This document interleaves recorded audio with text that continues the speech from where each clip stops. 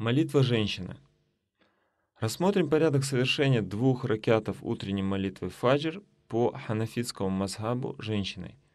По слову ракиат понимается цикл действий, включающих в себя чтение молитвы стоя, совершение поясного поклона и совершение двух земных поклонов. То есть в утренней молитве таких циклов два. Намерение, так называемый нияд, намерение совершить молитву.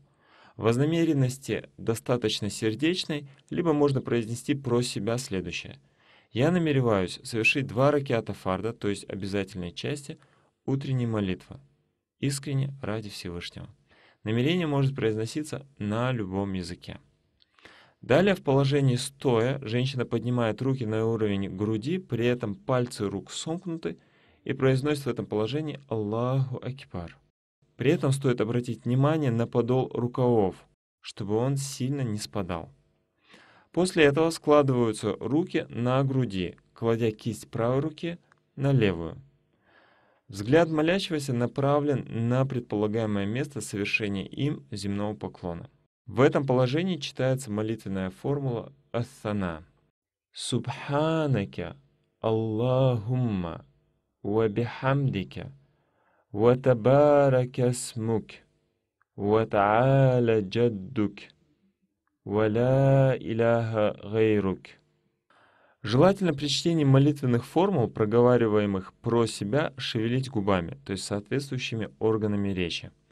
После астана человек произносит «Аузу билляхи мина шайтанир раджим, бисмиллахи рахмани рахим» и читает первую суру Священного Корана, суру Аль-Фатиха – الحمد لله رب العالمين. الرحمن الرحيم. مالك يوم الدين. إياك نعبد وإياك نستعين.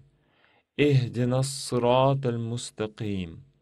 صراط الذين أنعمت عليهم غير المغضوب عليهم ولا الضالين. آمين. Затем читается любая другая сура Корана, например, сура Аль-Ихляс. Куль. Хуаллаху Ахад Аллаху Самад Лам ялид валам юлад Валам якун лаху куфуан Ахад Молящийся со словами Аллаху Акбар совершает поясной поклон. Женщина совершает поясной поклон с меньшим наклоном, в отличие от мужчины прижимая локти к туловищу, а пальцы кистей рук сомкнуты.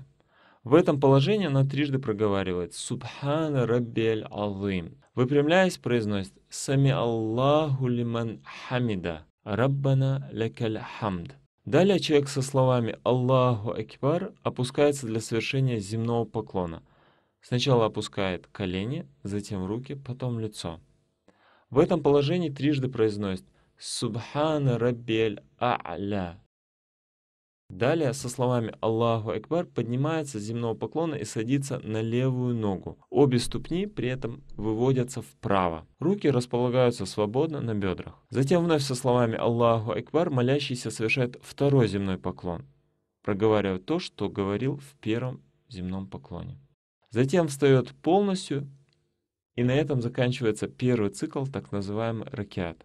Во втором ракете в положении стоя человек вновь складывает руки на груди и сразу произносит «Бисмилляхи рахмани рахим» и читает вновь суру Аль-Фатиха, плюс дополнительную суру, например, суру Аль-Аср.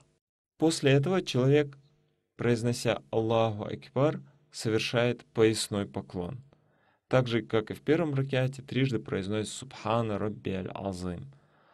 Со словами «Сами Аллаху лиман хамида» выпрямляется – произнося вновь «Раббана лекаль хамд».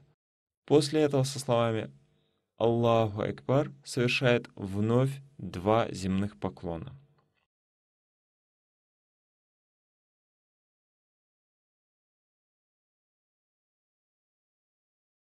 После того, как девушка села на левую ногу, совершив два земных поклона, она читает ташахуд.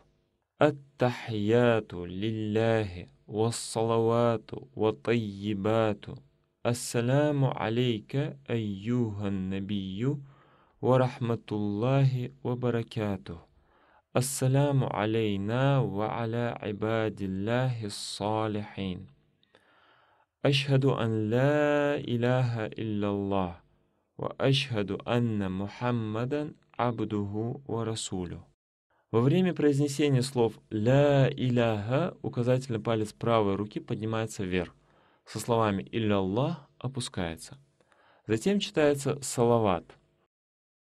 Аллахумма салли аля сайидина Мухаммадин ва аля али сайидина Мухаммад.